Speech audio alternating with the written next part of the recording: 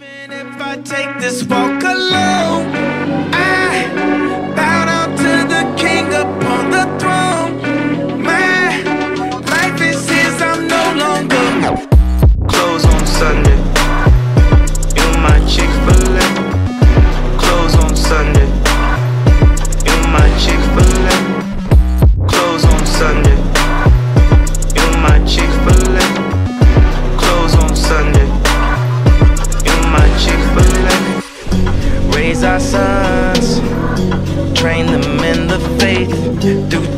meditations.